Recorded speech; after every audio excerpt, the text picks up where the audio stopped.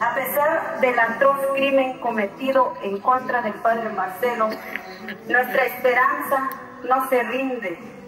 En medio de la espiral de violencia desbordada por la incapacidad política e, e insensibilidad humana de los gobiernos tanto en Chiapas como en todo México. Pero él no solamente escuchaba, no solamente veía estas injusticias que, que sufrían todos los pobres, pobres con los que él trabajaba, con los que él convivía. No solamente las veía, las denunciaba.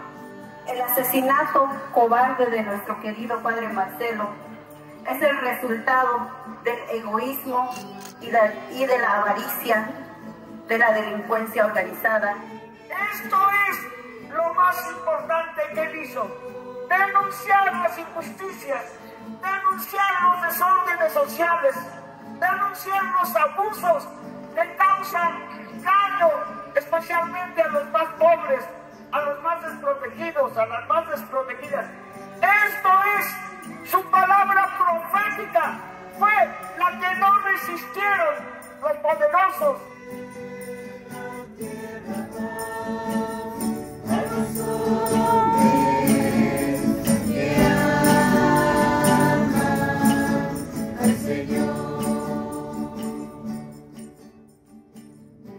que eran descubiertos ante toda la sociedad por su abuso de poder en la política, su abuso de poder en cuestiones de dinero, su abuso de poder en la explotación de los más pobres.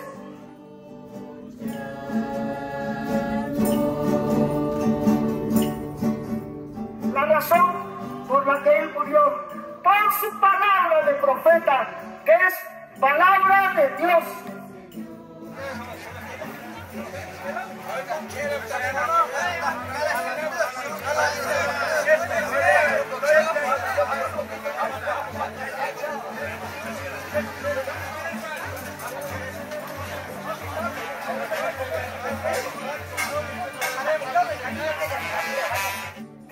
expuso su vida hasta la muerte bien de los hijas, hijas y los hijos de Dios, sobre todo los desprotegidos.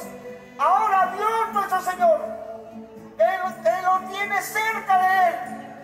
Ahora Dios nuestro Señor va a través de la memoria de ese justo que tiene cerca de Él, va a ayudar todavía más para que trabajemos contra los abusos de los que están en los poderes políticos y económicos, con los que no tienen vergüenza, con los que pagan asesinos para callar voces como el padre Marcelo.